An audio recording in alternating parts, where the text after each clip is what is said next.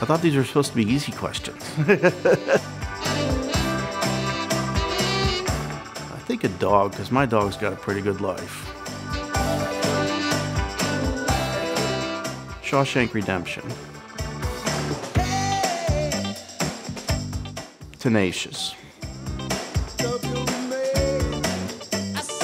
Well, my favorite movie quote is get busy living or get busy dying, but that also goes with my favorite movie, so.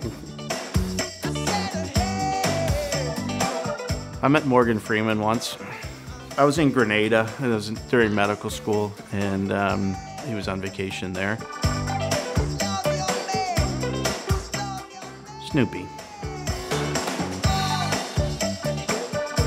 Cowabunga dude.